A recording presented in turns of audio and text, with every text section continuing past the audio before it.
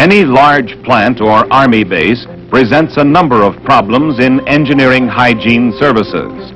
Air, water, waste disposal must be constantly under study for possible pollution and contamination.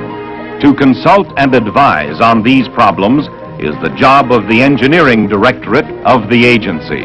A mobile sanitary engineering laboratory equipped with latest scientific devices brings a team of specialists to a survey site.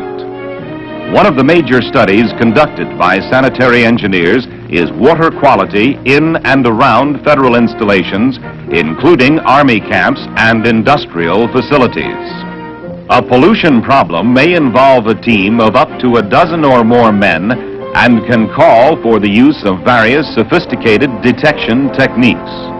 One method of pollution study is the use of remote monitoring sensors which are placed in streams or rivers.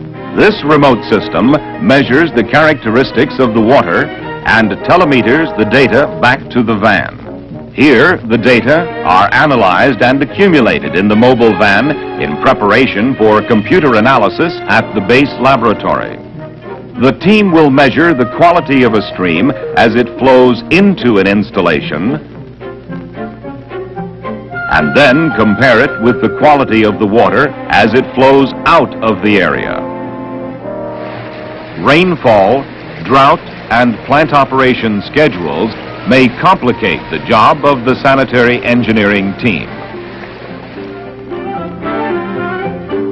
A water pollution field study can take more than two weeks in order to get suitable samples for analysis.